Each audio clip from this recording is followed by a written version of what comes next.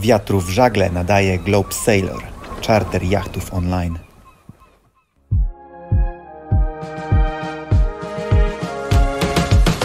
Kapitan Adam Jakubczak, podcast Władcy Wiatrów.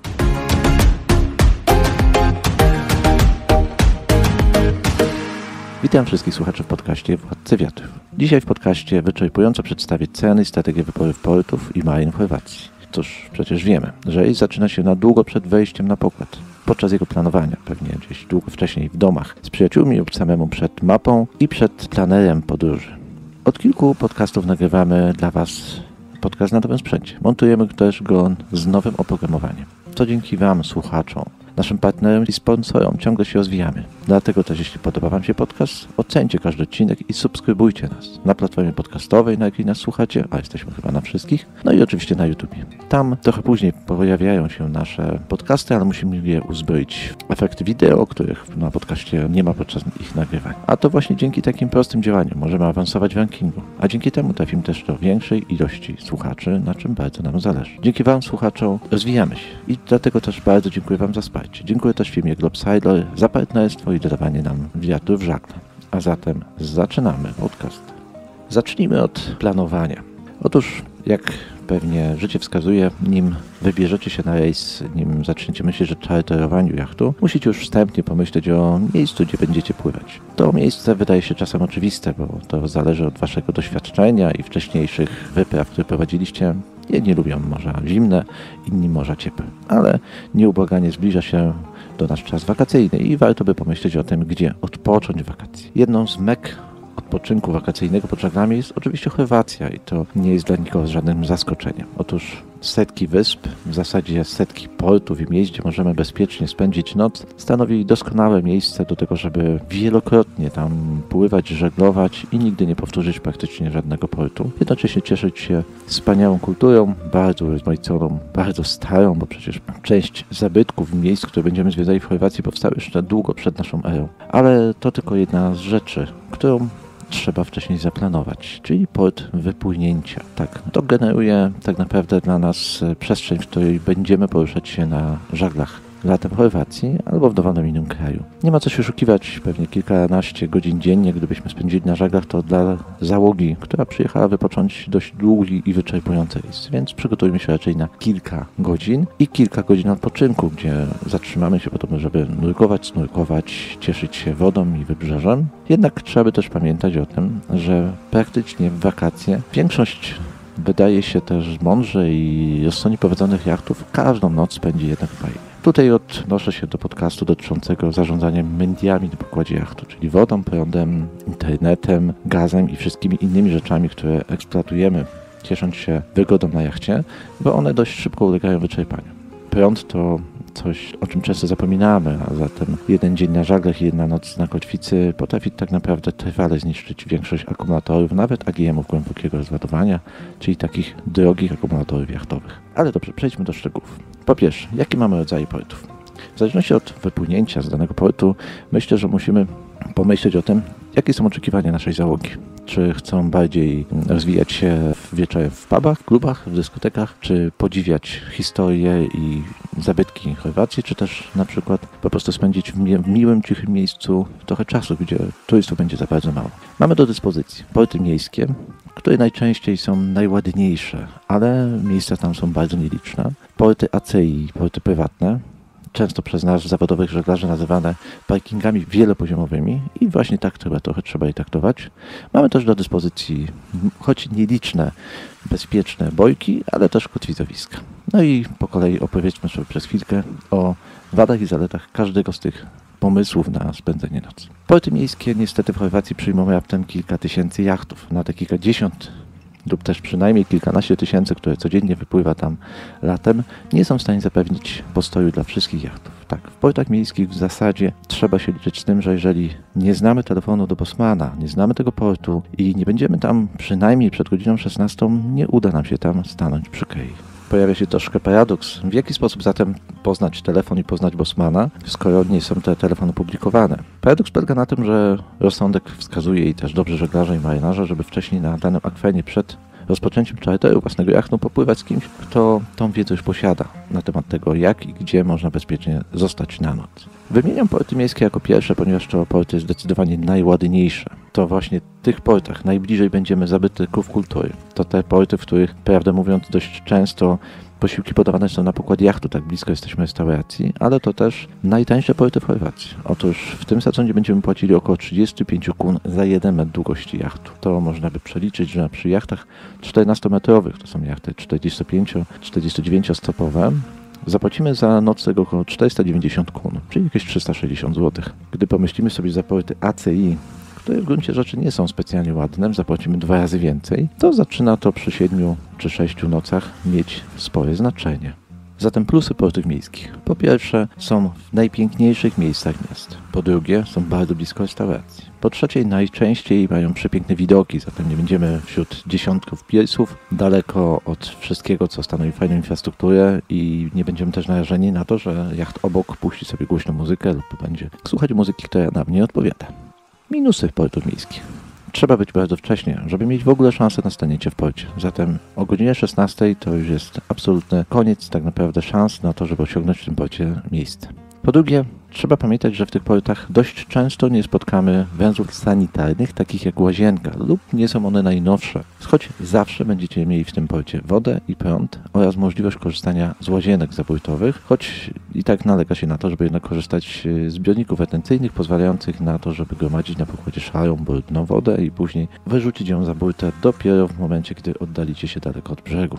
No cóż, problem jednak z tymi portami polega na tym, że jest ich dość niewiele i tylko dobrzy skiperzy wiedzą, gdzie są i są szczególnie te ładne. Trzeba się do tego przygotować. I teraz, gdybyście mieli na pokładzie jachtu rodzinę, dzieci, to myślę, że przynajmniej co drugi port miejski jest w stanie sprawić im ogromną przyjemność, ponieważ będą mogli naprawdę bardzo blisko, udając się do miasta, być w centrum życia kulturalnego oraz historycznego, do których ci, którzy zaparkowali w portach dużych, będą musieli pewnie do bardzo daleko dojść, czasami nawet będą musieli wynająć do tego taksówkę. Jednak też brak łazienki ładnej, czystej, fajnej i, i wygodnej może co niektórych pewnie troszkę speszy. Myślę, że porty miejskie jako co drugi port to dobre rozwiązanie. A zatem co robić w tych pozostałych momentach, kiedy jednak załoga by bardzo chciała wziąć długo prysznic, stojąc długo pod bieżącą wodą, ciesząc się, że nas chłodzi lub ogrzewa, czego w zasadzie, jak dobrze też wiemy z podcastu o zarządzaniu mediami, nie powinniśmy robić na pokładzie jachtów, bo uczymy się tam oszczędzać wodę. No ale przyzwyczajenia są przyzwyczajeniami i pewnie wiele osób, które będzie waszą załogą, właśnie tego będzie pragnąć, ten przynajmniej co drugi dzień nie ma też co im się dziwić, ponieważ kąpiąc się w tak słonej wodzie, jaką jest to właśnie woda Morza Śródziemnego, a szczególnie Morza Adriatyckiego, trzeba pamiętać, że później naprawdę trzeba się dobrze umyć, żeby nie niszczyć skóry solą. Alternatywą są tak zwane porty ACI oraz też porty trochę innych korporacji, jakby chociażby Tankan Commerce. To porty, które są drogie, ale mają w swoim zapleczu właśnie przede wszystkim węzły sanitarne. Często wśród żeglarzy i stajników, którzy pływają zawodowo, albo przynajmniej te kilkanaście, kilkadziesiąt tygodni w roku, nazywamy te porty parkingami wielopoziomowymi. No bo z całą pewnością nie są urocze czasami na kilkunastu piecach, gdzie stoi kilkaset jachtów. Nim dojdziemy do właśnie do wspomnianej łazienki, musimy pokonać setki metrów, a nim dojdziemy do centrum miasta, musimy pokonać czasami kilometry. Jednak ich niewątpliwą zaletą jest to, że będziecie mieli łazienki. Cóż, będziecie mieli też prąd i wodę na kei, choć wbrew pozorom i jakiejś takiej nieprawdziwej, obiegowej opinii, to nie są porty łatwe ze względu na to, że użytkownicy tych portów dysponują bardzo różnymi umiejętnościami, to dopóki w zasadzie wasz jacht, przynajmniej z obydwu stron, nie ma obok siebie innego jachtu, wy nie powinniście zajść z pokładu i nie tylko jako kapitan, ale przynajmniej jeszcze jakaś inna osoba, która może chronić waszą burtę. Tak, w tych portach e, uszkodzenia czasem zupełnie nie z waszej winy zdarzają się najczęściej, ale też w tych portach, gdybyście dysponowali załogą złożoną z bardzo niedoświadczonych osób, możecie poprosić o asystę wejścia. Pewnie długo będziecie na nią czekać, bo taka asysta, czyli jakiś ponton RIP z potężnym silnikiem e, jest jeden na port, ale możecie poprosić i poczekać, aż Wam pomoże wejść do tego portu, szczególnie jeżeli port był troszkę jest niezbyt bezpieczny przy wietrze, który akurat staliście, no ale to zależy też od waszego projektowania trasy, która może ulec zmianie. Ale do szczegółów. Słuchajcie, w takim porcie ACI i w innych portach możecie się spodziewać ceny oscylujące między 55 a 65 kun za metr. Zatem za jacht 14-metrowy tym razem zapłacić już ponad 900 kun. Przypominam, że w portach miejskich zapłaciliście tylko 490. Różnica jest znaczna, 2 do 1. Słuchajcie, trzeba się zatem zastanowić, czego pragnie Wasza załoga. Myślę, że kilkakrotnie na tydzień wejście do portu, który posiada węzeł sanitarny w postaci prysznicy, jest ciekawe. Ale pamiętajcie, że latem niewielkie szanse macie na to, żeby skorzystać z tych właśnie prysznicy bez kolejki. A jednocześnie po wypłynięciu bardzo wcześnie rano z portu, po zapatrzeniu jachtów w wodę słodką, i zapełnieniu do pełna zbiorników, możecie naprawdę wykąpać się nawet w wodzie słonej na zewnątrz, później jakimś szamponem. Przypominam, koniecznie biodegradowalnym, możecie się umyć. I zrobicie to w wspaniałym miejscu, w cudownej atmosferze, bez kolejki i ścian dookoła siebie. No ale oczywiście to wszystko zależy od tego, jak kapitan wami pokieruje, stajnik, którym być może wy będziecie, albo jakie też macie własne preferencje. Te porty są dość często oddalone od miasta, dość często bardzo liczne, mają węzły sanitarne, ale też są drogie. Niestety albo stety, w tych portach jest dość dużo miejsc, zatem z dużym prawdopodobieństwem, kiedy zabraknie już o godzinie 16 miejsc w portach miejskich, macie spore szanse na to, żeby otrzymać miejsce właśnie w porcie ACI lub innych takich dużych portach prywatnych. W różnych częściach Chorwacji te porty możecie odnaleźć. Takim doskonałym sposobem na to, żeby poruszać się w ogóle po Chorwacji, od czego jeszcze wrócę za chwilkę, jest książka, która nazywa się 888 Portów i Zatów Chorwacji. To wspaniały przewodnik po Chorwacji. Przypominam, nie jest to locja, to przewodnik, ale bardzo interesujący i przede wszystkim opisuje porty również z punktu widzenia bezpieczeństwa w porcie. Jak pewnie już wiecie, stajnicy, żeglarze, kapitanowie, port to nie jest miejsce, gdzie możecie po prostu pozostawić jacht i nie przejmować się jego bezpieczeństwem. Tak, w porcie czasami potrafi być naprawdę niebezpiecznie, a to, czy w nim będzie, czy nie niebezpiecznie, musicie zaplanować. Cóż, mamy jeszcze do dyspozycji w Chorwacji trzecią rzecz. Przypominam, opowiadaliśmy o portach miejskich, czyli tańszych portach w centrum miasta, które z reguły nie mają łazienek, ale też mają niewiele miejsc. Dużych portach innych portach prywatnych, tak zwanych parkingów wielopoziomowych, w których drogie są miejsca, ale z reguły właśnie te miejsca są. Można przypłynąć dość późno. Co za chwilkę powiem, można również zarezerwować łatwo miejsce, ale też będziecie bardzo daleko pewnie od najładniejszych części danego miasta. Macie też do dyspozycji tak zwane miejsca przy restauracjach. To dość kontrowersyjna historia. Po pierwsze, ze szczególnym uwzględnieniem warunków na morzu musicie pamiętać, że nie są to miejsca, które są specjalnie bezpieczne. Zatem jeżeli na noc spodziewacie się trudnych warunków, absolutnie nie możecie w takim miejscu zostać na noc. Tylko zeszłego roku przeżyłem przynajmniej raz historię, kiedy dość dobry przyjaciel, dobry stajnik był zaskoczony właśnie w takim porcie. Niedaleko wyspy Murta został dość znany i bardzo pięknej skądinąd restauracji na noc, po to, żeby właśnie cieszyć się niewielką ilością ludzi na prawie bezludnej wyspie. W nocy jednak nadchodząca burza dość mocno zmieniła kierunek, powodując, że w tym porcie zaczęła wchodzić wewnątrz zatoki fala. Większość jachtów została zerwanych. Pies również został urwany, jachty częściowo wcześniej były nieprawidłowo przymocowane. W zasadzie skończyły się wakacje dla wielu załóg i wielu jachtów. Zostały rozbite, ok, nie mogły już uciec. W takiej sytuacji błędem było tam stanięcie na noc, bo już gdy zastały nas te warunki, w zasadzie mogliśmy tylko ratować załogę, bo jachtu się już pewnie nie udało. No i tak właśnie się to zdarzyło w wakacje zeszłego roku. To tylko jedna z sytuacji, która bezpośrednio do mnie trafiła, bo następnego dnia starałem się za wszelką cenę pomóc osobom, które tam były. Ja byłem ten port dalej. Moja załoga się nawet nie obudziła podczas tej burzy, chociaż ja czuwałem, bo byliśmy dobrze i bezpiecznie zacumowani w innym, dużym porcie, wtedy akurat w Biogradzie. Cóż, na pewno Wartością takich miejsc jest to, że jest bardzo niewiele osób pewnie w danym miejscu, bo tylko tyle, ile staje na piersie i te osoby też, co ważne, muszą zjeść w restauracji. Cena tego piersu najczęściej jest ukryta właśnie we was, waszych posiłkach. I nie ma co się oszukiwać, te restauracje na pewno nie będą najtańsze. Raczej będą oscylować w cenach średnio i bardzo drogich. Oczywiście to będą bardzo dobre restauracje i najczęściej cieszą się ogromną sławą. Trzeba jednak pamiętać, że posiłek będzie przynajmniej o te 20-30% droższy niż posiłek w innych restauracjach, właśnie chociażby z tego powodu, że będziecie mieli na Kei również możliwość e, zacumowania za, najczęściej i za darmo. W tych restauracjach dość często nie ma wody albo prądu. Trzeba się z tym liczyć. Znów przypominam podcast na temat mediów na pokładzie jachtu, a całą noc przebywanie w wakacje w porcie bez prądu i wody to niebezpieczne dla jachtu i, i dyskomfortowe dla załogi. Nawet gdyby te media były, to czasem są ograniczone. A nawet gdyby nie było ograniczeń, trzeba pamiętać, że absolutnie w tych portach nie będzie łazienek. Czasami może toalety, takie, żeby z nich skorzystać, choć pewnie też korzystają z nich wszyscy inni uczestnicy restauracji, więc no nie jest to komfortowe miejsce. Cóż, z całą pewnością jest to najtańsze miejsce, bo teoretycznie nie płacimy za nie bezpośrednio, ale cena ukryta jest wewnątrz, wewnątrz rachunku. Cóż, ja osobiście dość mocno popieram zdanie zawodowych stajników y, i kapitanów, że raz w tygodniu pobyt w takim miejscu jest uzasadniony. Daje poczucie ogromnej przygody, więzi z najczęściej fajnymi załogami i nielicznymi, które nas otaczają, fajnego wieczoru w restauracji, choć na pewno czujemy to po portfelu. Wybieram wtedy takie miejsca, które są bardzo egzotyczne. Nie staję obok innych portów, tylko dlatego, że tu teoretycznie jest taniej, bo to już trochę wtedy nie jest rozsądne, szczególnie, że tam mam i media, i łazienki, to wtedy do restauracji też kilkaset metrów mogę już pójść, wybierając ją w zasadzie taką, jaką chcę, a nie taką, jaką muszę. Jednak trzeba pamiętać, że cena tych portów jest wcale nie mała, tylko po prostu nie widzimy jej bezpośrednio. Mamy trzecie rozwiązanie. Pierwsze to były porty miejskie, tanie, ale niewiele miejsc. Drugie porty prywatne, duże porty oraz porty racji, gdzie miejsca są drogie, ale najczęściej będą i można je też łatwo zarezerwować, o czym za chwilę powiem. No i mamy porty albo miejsca w zasadzie co do stanięcia przy kei. Często jest to pomoc pływający przy restauracjach. Należy takie miejsca wcześniej umówić. W większości te miejsca są na kilka dni wcześniej zarezerwowane. Jako trzecie i ostatnie właśnie to czwarte i ostatnie miejsce wymieniam boje. Warto by wspomnieć, że w Chorwacji panuje dobra praktyka żeglarska, która mówi o tym, że żadna dobra załoga z dobrym stajnikiem, dobrym kapitanem nie powinna zostać w nocy na kotwicy.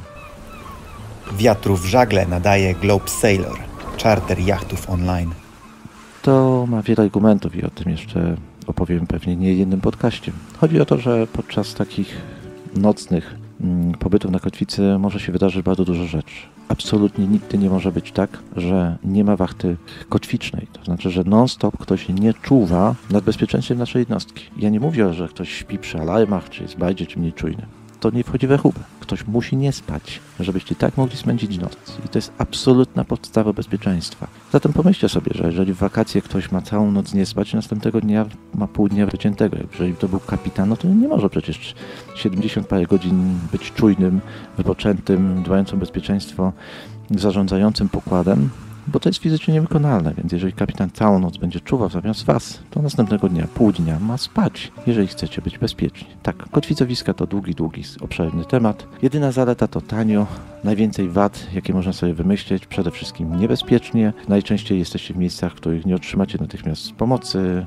zużywamy wodę, akumulatory, wiele innych rzeczy. To miejsce, które powinno być nie czymś, co planujecie, tylko czymś, co jest jakby ostateczną alternatywą w sytuacji, kiedy spóźnicie się do portów lub ich wcześniej nie zarezerwowaliście. Przypominam, wrócę do tego tematu jeszcze w innym podcaście, wymieniając Wam również trochę znanych wypadków, które miały miejsce na morzu. Może to tam trochę zilustruje to, że to nie jest bagatelizowanie tematu, kiedy ktoś mówi, że ma alarmy i zostanie sobie na kotwicy i pójdzie spać. To jest po prostu niebezpieczne i tak się nie powinno robić. Słuchajcie, Wspomniałem podczas tego podcastu, że wrócę do tego, jak umawiać te porty, ponieważ wymieniłem porty miejskie, porty racji, miejsca przy restauracjach, boje oraz kotwicowiska i nie mówiłem o tym, jak można uruchomić. Wcześniej, wspominając o bojach, chyba jeszcze też nie dodałem o jednej ważnej rzeczy. Słuchajcie, miejsce na bojach również się rezerwuje. Należy zadzwonić do kogoś, kto nimi zarządza. Nigdy nie jest tak, że jakakolwiek boja Chorwacji nie ma osoby zarządzającej, patrzy również płacącej za to stanowisko cały roczny podatek oraz ubezpieczającej to miejsce. Pamiętajcie, że na takim stanowisku musicie za nie zapłacić i wpłynięcie w nocy niczego nie zmienia. Jest w wielu portach pewna zasada, że jeżeli stajecie do 3 godzin w danym porcie, czyli na przykład chcecie zjeść po prostu posiłek lub e, pójść do łazienki zwiedzić kawałek miasta, to płacicie za ten port połowy stawki dziennej. Natomiast jeżeli będziecie w tym porcie ponad 3 godziny, płacicie za cały dzień, nieważne jak długo tam będziecie. Jeżeli wypłyniecie w tym czasie i wrócicie, wasze miejsce już nie należy do was. Trzeba o tym pamiętać, bo ta zasada obowiązuje na całym Morzu Śródziemnym. Zatem same boje to koszt, możecie sobie zaplanować w, w okolicach 300 do 450 kun. Zatem koszt porównywalny z sportem miejskim, a otrzymujecie poza dość pewnym stanowiskiem, chociaż doświadczenie wskazuje, że w trudnych warunkach jednostki na bojach również zostały zniszczone. to trzeba pamiętać, że nie macie ani wody, ani prądu, ani dostępu do łazienek. Boje to dość nieliczne w pozorom miejsca, chociaż są takie zatoki w Chorwacji, gdzie tych boi potrafi być kilkanaście lub kilkadziesiąt. Najczęściej zajmowane są dość szybko, bo wielu skiperów pragnie w krótkiej perspektywie oszczędzać środki związane z kasą rejestrową i nie wydawać dużo pieniędzy. Jednak jak sami wiecie już teraz, że port miejski kosztuje tyle samo, jesteście w centrum miasta i macie wodę i prąd. Czasami jest usprawiedliwione, bo po prostu chcecie być gdzieś daleko i na takich stanowiskach na boi będziecie jakieś 20-30 metrów od następnej załogi. Trzeba pamiętać, że na stanowisku naboi dobra praktyka żeglarska wskazuje, że ma być wachta kotwiczna. Zatem ktoś zawsze powinien nie spać, bo podczas trudnych warunkach ktoś może na was wpaść, wy możecie zerwać boje. Już nie wspomnę o tym, że nigdy jachty nie może być przycumowane rufą do boi, musi być przycumowane zawsze dziobem. To musi być układ linii w układzie V, czyli z jednej knagi poprzez ucho pod boją, nigdy nad boją. Lina wraca na drugą knagę i w ten sposób daje nam dużą bezpieczeństwo na noc i na noc jacht powinien stać na minimum dwóch linach, przecież lina się potrafi przedrzeć.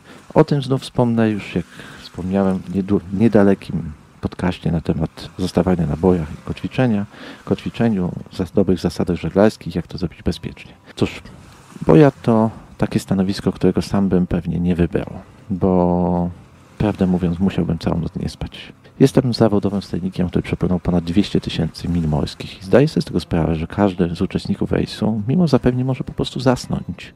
Obudzi się, gdy pewnie pioruny będą bardzo już intensywnie wokół nas uderzały w wodę, będą uziemione, a nas będzie dotyczył wiatr i szkwały.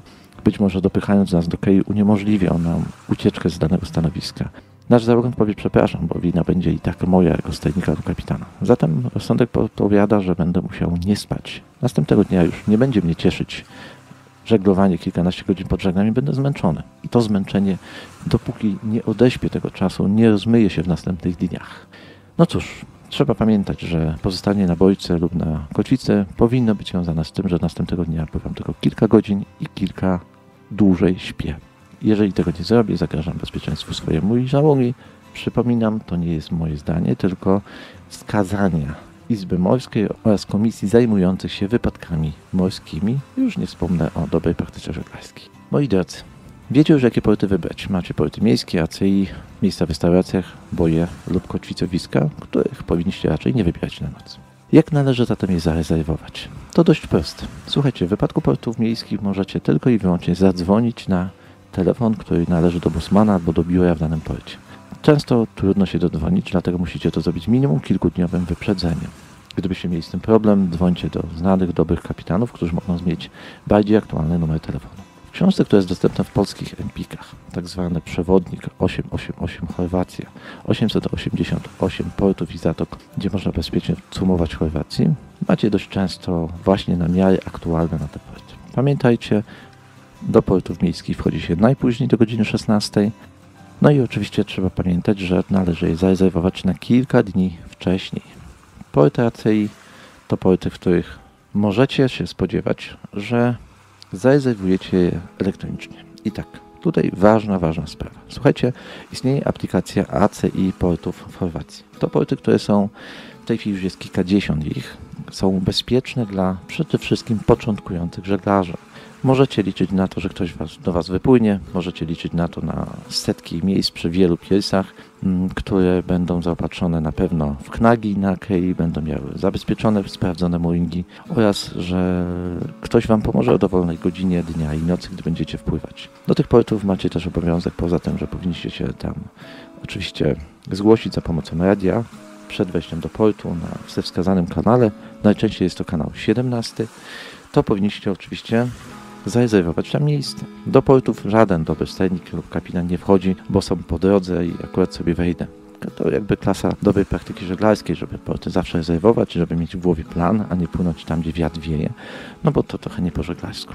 Otóż bardzo łatwo w portach ACI możecie na kilka dni do przodu zarezerwować miejsce. Chodzi oczywiście, gdy wpłyniecie szczególnie w wakacje w późnych godzinach wieczornych, to nie spodziewajcie się, że to będzie łatwe miejsce. To będzie najtrudniejsze miejsce bo wszystkie łatwe i ładne miejsca zostały zajęte w okolicach 16 i 17. Po prostu będzie miejsce. Najczęściej gdzieś setki metrów od łazienki, w dość mało widowiskowym, niefajnym, głębokim miejscu gdzieś między piersami, ale to miejsce będzie. Będą też łazienki, będzie też na pewno woda, będzie na pewno prąd. I to są chyba najważniejsze zalety tego miejsca. Pamiętajcie, aplikacja ACI wymaga trochę atencji. Trzeba tam zarejestrować swój jacht, nazwać go, wpisać wszystkie wymiary, wybrać daną dokładną godzinę. Ale jeżeli ktoś porusza się dość sprawnie w aplikacjach telefonicznych, to zajmie mu to raptem kilka minut. To doskonałe narzędzie, bo jak tylko dowiecie się, że coś się zmieniło w aurze pogody, prognoza pogody się nie sprawdza, wy natychmiast możecie z jednej aplikacji rezerwację jedną odwołać, za kilka dni dostaniecie zwrot pieniędzy i wybrać rezerwację w innym porcie, dowiadując się w zasadzie w kilka minut, nawet bez dzwonienia, czy w tym porcie jeszcze miejsca zostały dla Waszego jachtu. Ta aplikacja oczywiście sprzedaje tylko miejsca, które są wolne, Zatem, gdy wykupicie miejsce, to natychmiast możecie mieć pewność, że to miejsce będzie. Jak mówię, wcale nie musi być ładne ani bezpieczne, ale naprawdę będzie. Słuchajcie, jeśli chodzi o rezerwacje w restauracjach, co wydaje się logiczne, musicie wcześniej zadzwonić i te najładniejsze miejsca i najładniejsze restauracje rezerwuje się prawie na tydzień do przodu. Jeśli chodzi o boje, moi drodzy, już nie jedna osoba próbowała w ten sposób o godzinie kilkadziesiąt minut przed zachodem słońca pojechać na stanowisko, gdzie są boje i mieć nadzieję, że one dalej tam będą. Otóż niestety nie będą. Najczęściej boje wyczerpują się w godzinach 15 do 18. Jeżeli jesteście niepoprawnymi optymistami i macie wrażenie, że jak o zachodzie słońca pojedziecie na bojkowisko i będziecie się spodziewać, że będą tam wolne boje, szansa jest naprawdę niewielka. Jeżeli nie macie absolutnie innej rezerwy, czyli to, to już jest wasza rezerwa, bo nie weszliście do portu, jest za późno, to nie spodziewajcie się na bojkowisku w Chorwacji w wakacje, już szczególnie na Balearach albo na bardzo rzadkich takich miejscach w Grecji, znajdziecie bezpieczne miejsca. Często bojki są ustawione na miejscach, które nie są bezpieczne dla wszystkich jednostek. Pamiętajcie, że są czasem miejsca, które są bezpieczne dla motorówek lub katamaranów o zanurzeniu kilkudziesięciu centymetrów i nie są bezpieczne już dla jachtów o zanurzeniu kilku metrów. Wystarczy sobie porównać głębokości i te wszystkie dane i rzeczy powinniście wcześniej wiedzieć, nim się udacie na dane stanowisko. Oczywiście wybór stanowiska zależy od kapitana. Gdyby stanowisko było zbyt płytkie, przy danym kierunku wiatru by was zniosło na kamienie, no to niestety podniesiecie odpowiedzialność za ten zły wybór. Słuchajcie, tak jak wspomniałem, brak bojki, czyli nieumówienie jej, a jest to możliwe, żeby ją umówić, chociaż nie jest łatwe, i pozostaniecie w nocy tak naprawdę na wodzie zmusza was do tego, żebyście podjęli jakieś interwencyjne kroki. Otóż zostanięcie w nocy na kotwicy musicie pamiętać zawsze, absolutnie zawsze musi być związane z wachtą kotwiczną, która operuje i mądrze zarządza pokładem jachtu, obserwując nie tylko horyzont, ale też to, czy ktoś na was nie wpływa, czy wasze stanowisko się nie zdemontowało i kotwica puściła, a wy już nie jesteście bezpieczni. To podczas wachty kotwicznej musi być zawsze ktoś, kto potrafi uruchomić silnik, włączyć tak naprawdę przynajmniej bieg naprzód, również podawać załogę, która jest z spoczynku gotowa do pracy, bo tak na kotwicy powinniście być podzieleni na wachtę. Ktoś powinien wiedzieć, że to właśnie jego będziemy wzywać na górny pokład, więc ma być gotowy do kilkanaście sekund do podjęcia służby na górnym pokładzie. To powinien zrobić kapitan. Nie może tego zrobić sam. Nie może również oczekiwać, że będzie miał kapitanozę i każdy mu będzie ufać, że on całe noce będzie siedział i on tak to robi bezpiecznie i proszę się nie przejmować, on się budzi na każdy alarm. Nie, niestety. Tak się nie robi, to nie jest dobra praktyka żeglarska. Muszą być w nocy wachty. Jeżeli chcecie te wachty w wakacje, a pamiętajcie, że naprawdę przez całą noc kilka osób musi czuwać, to jest to jakoś miejsce do przyjęcia. Niemniej nie jest to miejsce bezpieczne, nadchodząca burza może doprowadzić do sytuacji, w której musicie zejść z tego miejsca. Pamiętajcie, to tylko 30 kg płozy kotwicy, która gdzieś tam na dnie mocniej lub mniej zahaczona może dać Wam oparcie tylko i wyłącznie, kiedy nie zmierza do Was fala, a najwyżej wiatr na pewno nie przekraczające 6 w skali Beauforta, no bo wtedy bezpiecznie jest nie w tym miejscu, tylko gdzie indziej.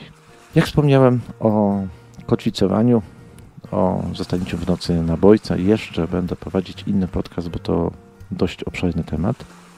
A dzisiaj to już wszystko w tym podcaście, moi drodzy. Jeszcze raz przypominam, rodzaje portów w Chorwacji. Po pierwsze, przygotujcie się do pływania. Kupcie sobie znany i ceniony przez wszystkich przewodnik 888 portów i zatok w Chorwacji do bezpiecznego cumowania. Tam możecie rozpocząć planowanie. Uzbroicie się w jakąś elektroniczną mapę na telefonie. Ja osobiście korzystam z Navionixa. Nie jest to duży koszt, a pozwala fajnie prowadzić nie tylko nawigację, ale również e, prowadzić tak trasy, w którą będę się poruszał. Link do tej aplikacji online znajdziecie w opisie tego podcastu. Słuchajcie, macie do wyboru porty miejskie, ACI, miejsca przy restauracjach, boje kotwicowiskach. Wszystko opisałem w treści. Jeśli chodzi o sposoby umawiania portów, macie do dyspozycji również aplikację ACI, która pozwala nam na w zasadzie na kilka dni, nawet kilka tygodni wcześniejsze zarezerwowanie miejsca w danym porcie lub marynie. Pamiętajcie jednak, że im później przyjdziecie, tym gorsze miejsce dostaniecie. Myślę, że taką dobrą zasadą w Chorwacji jest to, że każdy jacht dobrze prowadzony o 17 powinien stać bezpiecznie w porcie, a wyjście w zasadzie zależy od Was. Ja osobiście jestem zwolennikiem wychodzenia bardzo wczesnego i jedzenia śniadania na morzu, żeby wydłużyć sobie ten czas pobytu w portach. I tyle moi drodzy na dzisiaj. Jeśli podoba Wam się ten podcast, to ocencie ten odcinek i każdy inny. Subskrybujcie nas na platformie podcastowej, słuchajcie też nas na YouTubie. Pamiętajcie, dzięki tym prostym właśnie działaniom, które każdy z Was może wykonać, będziemy awansować w rankingu, a dzięki temu też trafimy do większej ilości żeglarzy i podróżników, informując ich, jak to bezpiecznie pływać, nie zagrażając sobie i być może w przyszłości też nam. To właśnie takie wspólne rozwijanie się pomaga nam w tym, żebyśmy rozwijali żeglarstwo. Jak to mówią dobrzy żeglarze, świat na morzu zmienia się od siebie. Zatem nie komentujcie, nie oceniajcie ludzi na internecie, w dziwnych grupach społecznościowych oraz forach dyskusyjnych. Zmieniajcie świat od siebie. I to jest najlepsza strategia dla dobrego stajnika i kapitana. Dzięki Wam właśnie możemy też awansować, ale dzięki Wam też możemy się rozwijać. Dlatego też bardzo wszystkim dziękuję za wsparcie i listy, które do nas piszecie. Dziękuję też zespołowi i firmie Globsiler za partnerstwo z nami i dodawanie nam wiatru w żagle. A dziś się już z Wami żegnam. Ahoj żeglarze.